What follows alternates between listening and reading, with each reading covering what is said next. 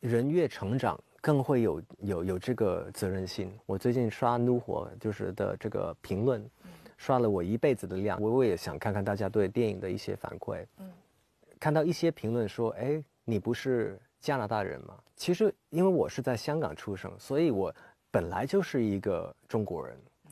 嗯，但是我看到这样的评论，其实我也心里面会，哎呀，咯噔一下，怎怎么怎么会有这这个说法呢？其实我。我也已经把我推掉加拿大国籍的这个已经在呃申请了，所以你说美食也好，音乐也好，动作电影也好，就真的是觉得自己有这个这个心或者是这个责任感去去把咱们祖国这么好的东西去传播给全世界。